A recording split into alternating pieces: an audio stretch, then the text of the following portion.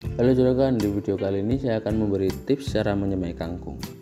Nah, untuk alat dan bahan yang dibutuhkan kita siapkan dulu benih kangkung yang pasti, terus kita siapkan wadah plastik untuk tempat perendaman benih nanti. Kita siapkan gunting, takaran untuk benih, air secukupnya, tisu, wadah benih dengan tutup dengan tutup untuk tempat penyemaian, semprotan, plastik resek atau plastik kantong hitam, nampan plastik, pinset, tusuk gigi, dan rock wool juga kan yang pasti. Nah, langkah pertama buka benih menggunakan gunting yang sudah disiapkan tadi, tidak perlu lebar-lebar ya sudah kan.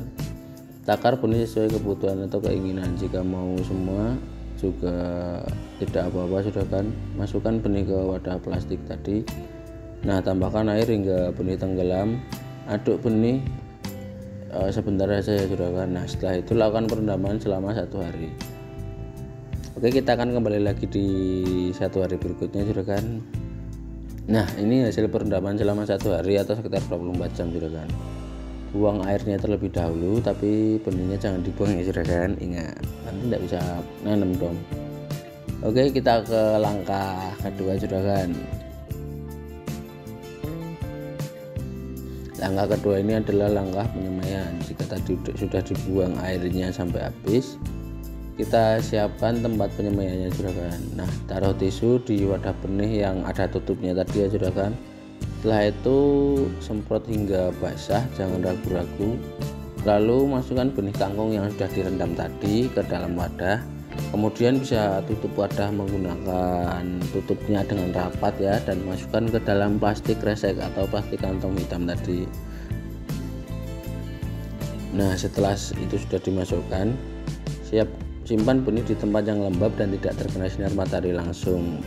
Nah, langkah ketiga ini kita memindahkan benih kangkung ke rock wall ambil dulu benih yang semalam kita kita simpan ya di tempat yang lembab. Nah buka penutup benih bisa dilihat benih sudah mulai berkecambah.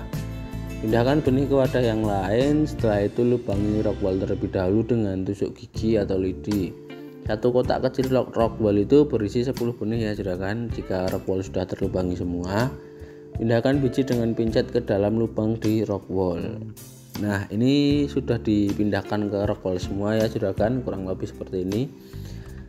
Setelah itu bisa beri larutan nutrisi pada rockwool letakkan benih di bawah sinar matahari langsung.